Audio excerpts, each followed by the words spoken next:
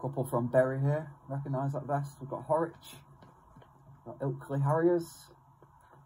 Again, shout out to Callum Parkinson, very own Salford Harriers. We've got a Sale, Holmfirth, St Helens, got Tessa Walker and Grant from Salford. Oh, apologies, I should say Tessa Robinson. I know her as an old PE teacher. We've got the back of the field here. Oldham,